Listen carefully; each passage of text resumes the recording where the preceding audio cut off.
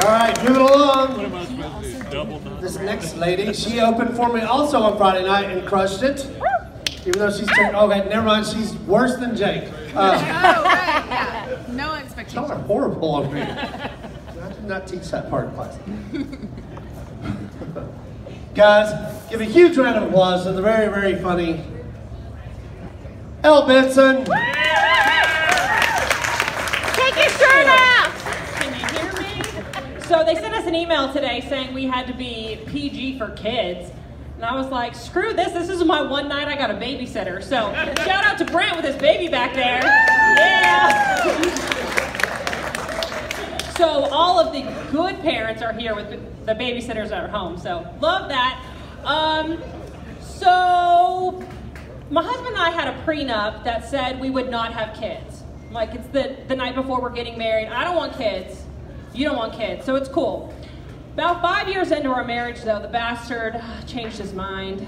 Damn it. I always think it's the women. It's not. It's you men wanting to lay your sperm. Not into it. So I think I missed sex ed in high school and I ended up pregnant. All I know is I was really drunk.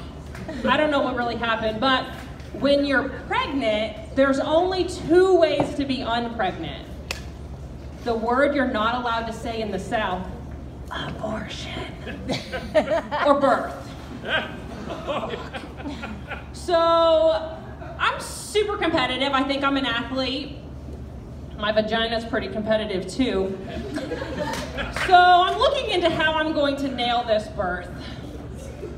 Okay, so I believe everything on the internet. I am the most gullible person in the world. Found this program called Hypnobirthing.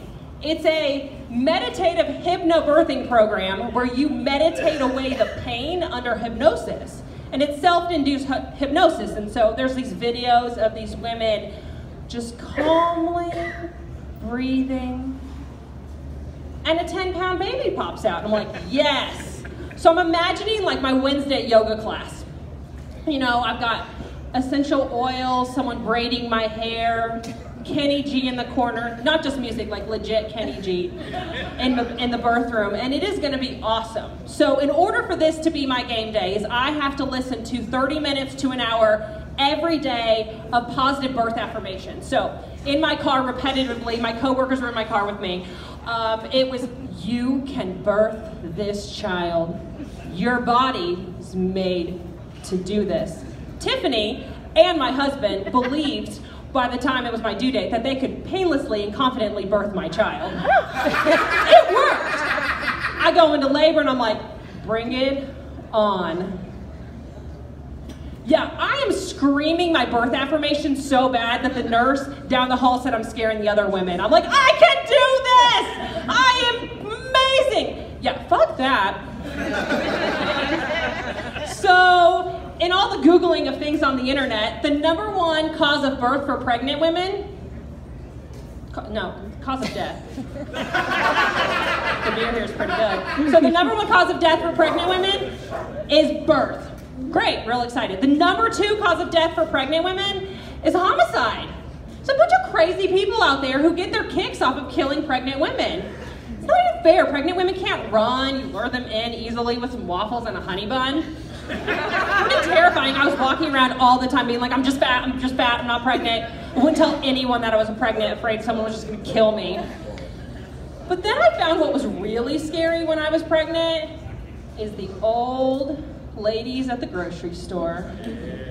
They see you from the ice cream aisle because you're usually in the ice cream aisle with the old ladies.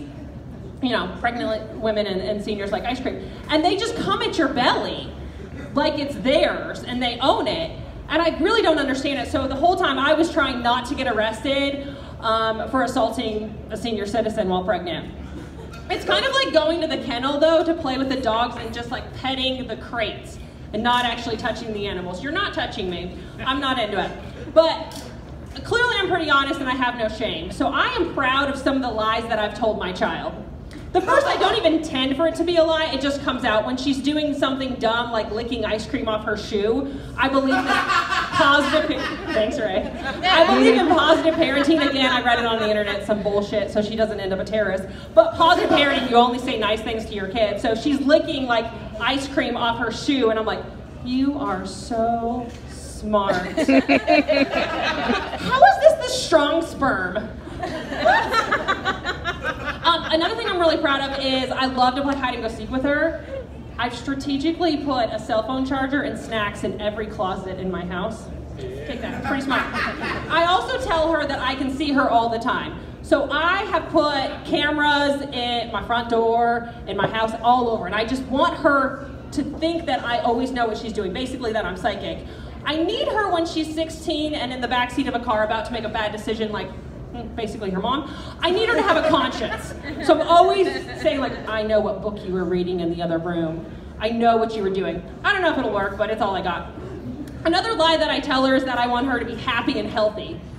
I mean, I do, I'm not terrible. But I also need her to be rich because I might have spent grandma's college fund on a trip to Vegas with, with the girls. Um, the tattoos are pretty awesome. So I'm gonna need her to do well.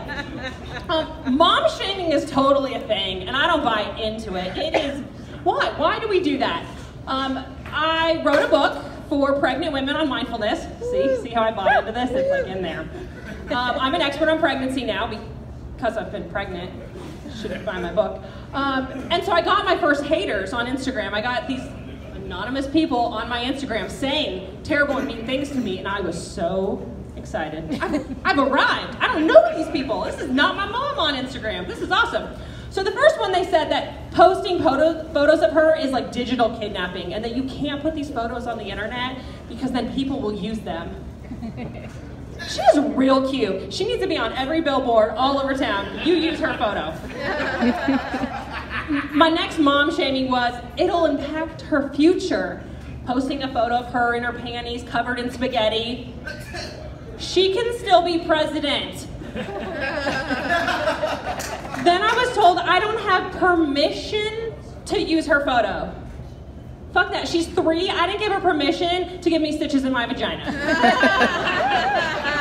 so I'm going to leave you with a little bit of information on how to engage with new moms when they come back into society.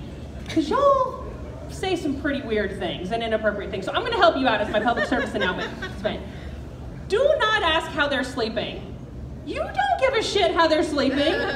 You just want to enjoy all the sleep that you're getting. So unless you're willing to go over to new mom's house at 4 a.m., see you, Rachel. I know you do that. Doesn't have a kid right here. Sleep all night. Yeah, she's like, I slept 10 hours last 10 night. Great. Uh, don't do it. Don't ask. It's mean. Then also people say, soak in all the moments.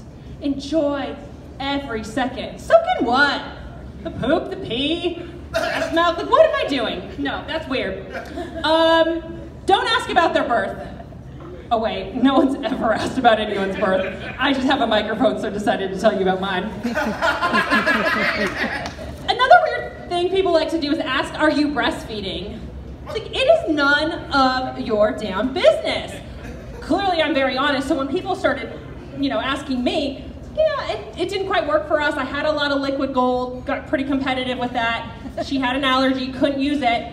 So my husband puts in as a coffee. you asked. So the other thing people do to women is they say, you look good for just having had a baby. No, I want to empower women. I'm a feminist. I want women to feel confident, to own their bodies. I'm not even a lesbian. What I like to say to women after they've had a baby is I walk right up to them, look at them, and say, let's fuck in my car. Thank you guys. Good night.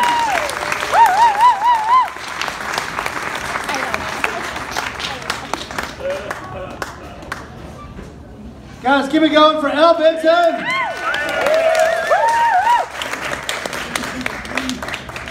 All right. Your next comedian.